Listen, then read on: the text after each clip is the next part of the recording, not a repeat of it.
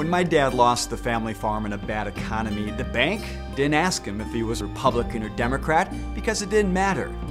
Families here are hurting, and their party affiliation doesn't matter to me either.